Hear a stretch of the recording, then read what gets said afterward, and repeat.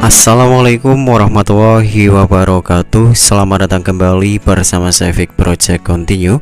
Di kesempatan kali ini kita akan membahas cara melakukan pendaftaran dan pengajuan pinjaman di aplikasi My Home Credit Oke untuk teman-teman di sini buat kalian yang mungkin ingin menggunakan aplikasi Home Credit untuk melakukan pengajuan seperti untuk uh, membeli barang secara kredit.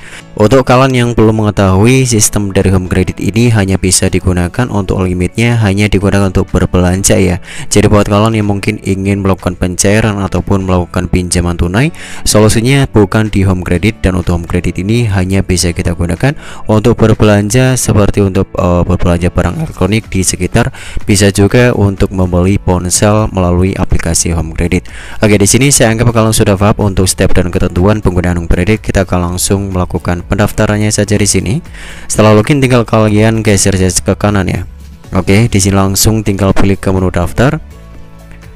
Ya, kita akan menunggu Ya, di sini perlu kalian setujui terlebih dahulu untuk persetujuan penggunaan dari PT Home Credit Indonesia ketentuan penggunaan aplikasinya. Kalian tinggal scroll aja ke bawah, lalu di halaman ini checklist terlebih dahulu di bagian menu ketentuan penggunaan aplikasi seluler. Ya, di sini tinggal kalian pilih setuju dan lanjutkan saja. Lalu kita dalilkan ke halaman selanjutnya seperti ini. Ya, di atas kalian bisa melihat ada beberapa informasi seperti tanggal lahir, kemudian nomor ponsel, kemudian kode PIN dan uh, konfirmasi kode PIN. Selain kalian tinggal disesuaikan ya. Kita akan input terlebih dahulu untuk memilih tanggal lahirnya. Ya, di sini saya sudah mengisi keseluruhan dari data yang tersedia dari tanggal lahir, nomor ponsel, dan kode PIN-nya. Kemudian tinggal pilih lanjutkan saja di bawah. Kita sudah menginput PIN dan konfirmasi ya. Datanya sudah benarkan. Di sini pastikan data kamu sudah benar dan sesuai sebelum dikirim ya. Lanjutkan prosesnya, tinggal lanjutkan di pojok kanan bawah. Pastikan di sini data yang sudah kalian input benar dan di sini tinggal kalian input Nah, kode OTP masuk ya melalui SMS. Ada di sini tertera kode OTP-nya yaitu 142702 142702. Kemudian tinggal verifikasi langsung di sini. Nah, kita akan menunggu dan dialihkan ke halaman selanjutnya. Izinkan My Home Credit Indonesia mengakses informasi dari perangkat ini. Tinggal kalian izinkan terlebih dahulu dan mengakses beberapa data yang lain juga ya aplikasi Mem Credit mengakses panggilan telepon diizinkan aja di sini ya nah izinkan keseluruhan dan di sini kalian tunggu saja nanti akan ada informasi selanjutnya ya sampai di sini kalian dialihkan ke halaman beranda dari aplikasinya siap buat berbagai kebutuhanmu tik selesai kemudian di sini ada ya limit yang tertera Nah, di sini jadi bisa beli segala kebutuhan impianmu. Di sini limit tertera hingga 30 juta rupiah. Tinggal kalian pilih gunakan pembiayaan di pojok kiri atas ya. Kalian klik gunakan pembiayaan. Ya izinkan My Home Credit uh, mengambil gambar dan merekam video. Kita izinkan terlebih dahulu. Lalu di halaman ini tinggal kalian foto KTP saja ya, ataupun uh, dokumen scan. Kita akan pastikan kembali bahwa ini uh, foto KTP ya. Kita akan coba ulang. Nah, panduan foto KTP ada di bawah ya. Kalian scroll tarik saja ke bawah. Nah, Oke, cari ruang dengan pencahayaan pemadai, posisikan bagian muka KTP di kotak yang tersedia. Data pada KTP harus sama terdapat terbaca jelas, pastikan tidak terdapat pantulan cahaya pada hasil foto. Uh, tenang kerahasiaan data kamu kami jamin sepenuhnya. Oke, jadi uh, home credit tidak perlu diragukan karena ini adalah salah satu fintech ataupun pinjaman berbasis pay ataupun belanja pay to uh, per ya. Jadi ini merupakan layanan yang bisa kita gunakan untuk berbelanja kredit dan aplikasi ini juga aman sudah terdaftar di Otoritas Jasa Keuangan kemudian beberapa lembaga yang lainnya. Oke, sampai di sini tinggal kalian langsung ambil foto saja scan di uh, kotak yang tersedia di sini ya. Kemudian di sini setelah mengambil KTP tinggal pilih simpan dan lanjutkan di bawah. Oke, di sini tinggal kalau foto selfie ya, lihat dulu ke depan dan di sini cari ruangan seperti biasa untuk persyaratannya uh, harus menggunakan verifikasi wajah yang tepat ya. Oke, di sini setelah selesai tinggal pilih simpan dan lanjutkan di bawah dan nanti data tidak sesuai terjadi masalah pada SIM kami, kita klik tutup. Oke, kita akan coba ya, simpan. Nah, kita akan kembali terlebih dahulu. Oke, di sini langsung ya, ulang ya. Ya, selanjutnya nanti kalian akan dialihkan ke halaman seperti ini ya. Jadi uh, sebelumnya mungkin kalau melihat notifikasi bahwa data tidak sesuai, jadi setelah kalian melakukan foto seperti tadi menggunakan foto selfie, tinggal langsung pilih simpan dan lanjutkan supaya dari aplikasinya tidak uh, slow respon ya.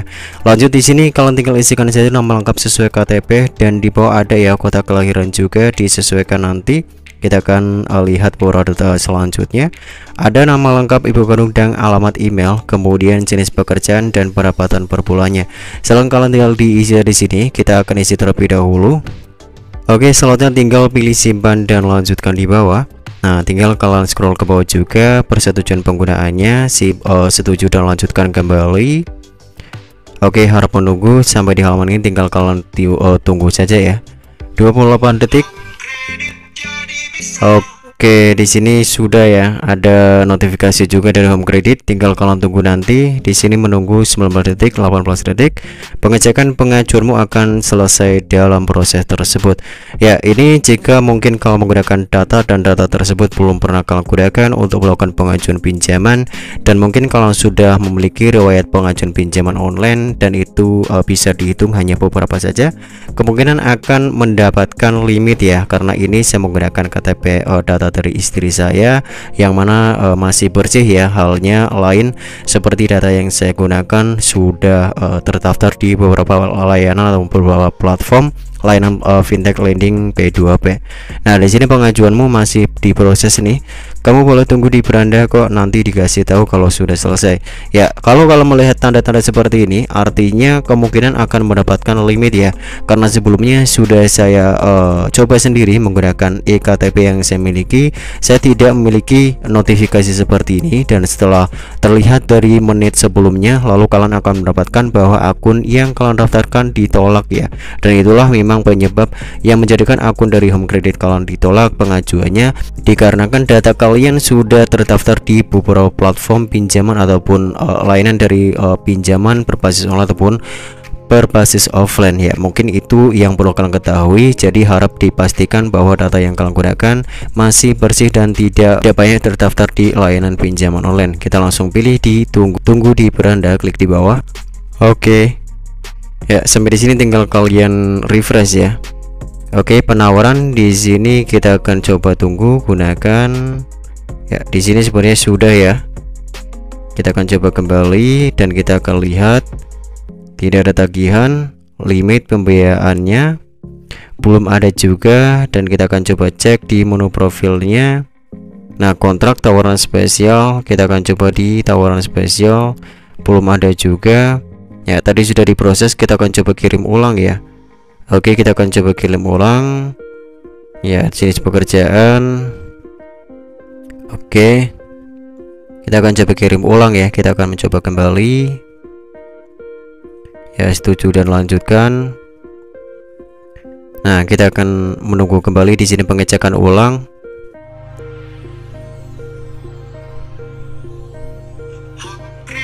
oke okay.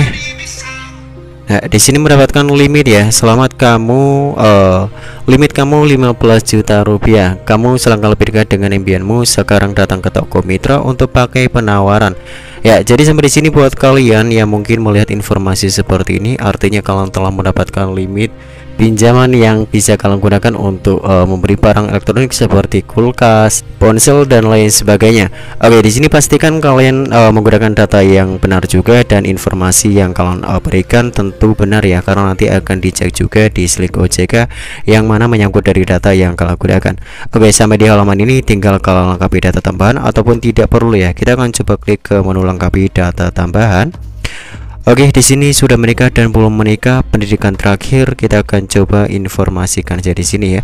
Nah, pendidikan terakhir diploma ataupun akademi universitas sarjana kita akan pilih sudah menikah ataupun belum menikah. Belum menikah kita akan pilih di sudah menikah ya. Oke, disesuaikan saja untuk riwayat sekarang. Jumlah tanggungan tidak ada ya. Mungkin kita akan isikan satu saja. Kemudian checklist di pojok kanan bawah dan pilih simpan dan lanjutkan. Oke, sampai di sini informasi selanjutnya pengisian alamat dan di sini pastikan uh, kalau menggunakan alamat yang benar ini sebagai informasi tambahan saja.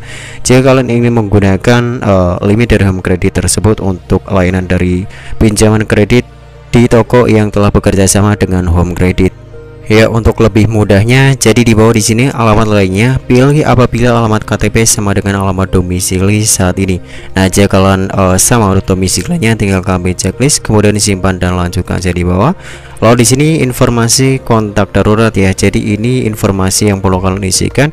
Seperti halnya untuk penghubungan dari keluarga ataupun kerabat dan rekan kerja, tinggal kalian isikan saja di sini ya. Oke, selanjutnya tinggal pilih simpan dan lanjutkan di bawah. Ya, di sini ada informasi pekerjaan kembali, profesi tinggal kalian pilih ya, non staff ataupun staff. SPV manager kita akan pilih staff nama perusahaan di sini. Nah, kalian isikan Bunda saja ya, sesuai dari pekerjaan kalian.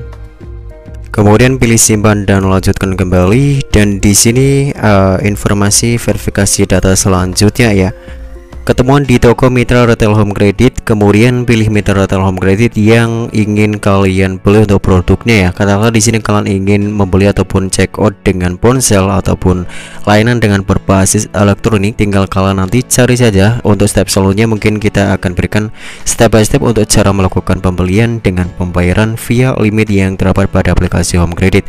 Ya mungkin itu uh, akan saya bahas selanjutnya ya dan kita bisa mencari toko di bagian sini. Nah, ada menu televisi, kemudian beberapa produk dan barang yang lainnya kita akan coba kembali saja nanti ya karena ini video yang mungkin kita akan bahas selanjutnya kita klik buka kode unik Nah, kode unik ini berfungsi jika kalian sudah memesan uh, datanya.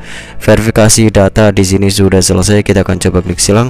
Keluar dari verifikasi data, kita akan coba lanjut verifikasi ya. Oke, sudah di Mitra Retail, pilih produk. Jadi di sini verifikasi data digunakan untuk uh, berbelanja ya. Kita akan coba pilih gadget ataupun handphone, kemudian pilih. Ya, di sini nanti kalian akan dialihkan ke lokasi dari ponsel ataupun toko yang bekerja sama dengan Home Credit ini. Oke, di sini saya kembalikan dan mungkin nanti di next video kita akan coba gunakan ya untuk penawaran berlaku sampai 17 Januari 2024. Sampai di sini tinggal kalian nanti datang saya ke toko dan video tersebut nanti akan saya update secepat mungkin. Dan begitu untuk cara melakukan pendaftaran dari home credit hingga mendapatkan limit. Semoga informasinya bermanfaat. Sampai jumpa kembali di video saya selanjutnya. Bye bye.